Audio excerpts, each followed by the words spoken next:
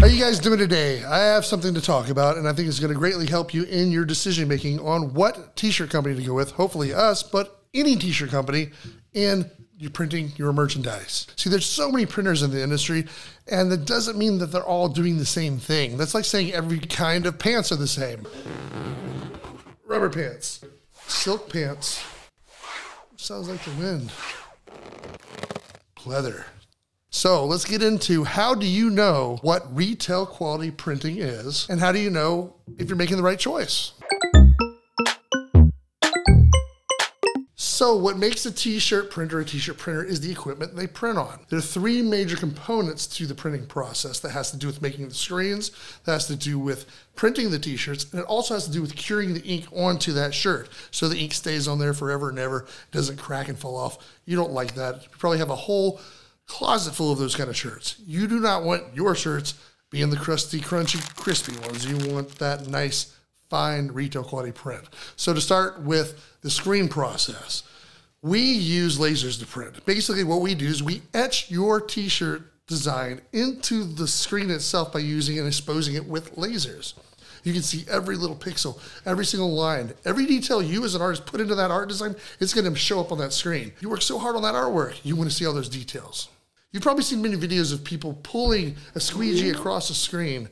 That is using the power of a human hand and the inconsistency of the human hand at that.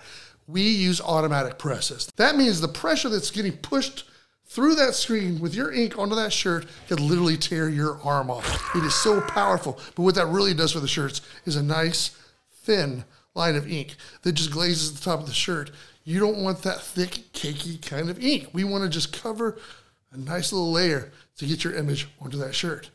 And then to our third process is the drying process. It's actually called the curing process. We use gas dryers. The problem with an electric dryer, which most printers have, is that you're just cooking the top layer of the ink. You have to go with gas to cover the whole shirt, the whole ink. That's like taking a turkey and putting it in a toaster oven and just broiling the top of the turkey. You're gonna cut into that, it's gonna be raw in the middle. What happens when you get raw ink in the middle is it just falls off the shirt. It peels off the shirt, it cracks. That's the most detrimental part of this whole process, using gas dryers. Whether you're an artist or just a fan or whatever, when you get your t-shirt, you want to see that this has some beautiful colors on it. We custom mix every ink color to your art. Meaning, if it's got a unique mint green with a turquoise with a salmon pink and a lavender chartreuse burlap, you're going to see that. By doing this, it's going to make your art stand out against the rest. You're going to look unique and you're going to love the end result of that. And as far as inks go, there is one more choice, and it is the newest out of all of them. It was digital inks. This comes from digital printing. See, in screen printing, when you have a screen, you have an ink. You're going to pay per ink color as they set up the machine.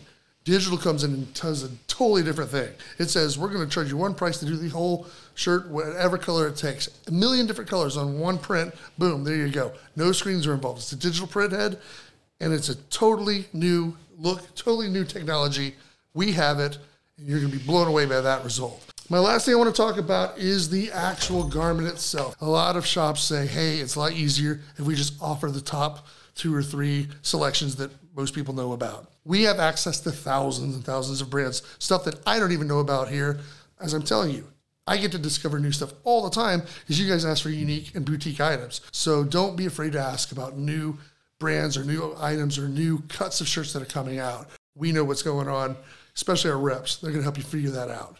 So, everybody, that's it. This is our Terminus Tees retail quality printing checklist. This makes sure that you have amazing looking shirts. Do not go with anybody else that cannot meet most of the standards on this. We've spent so many years refining our process to give you the best t shirts ever. And now we need your ideas to make them come alive.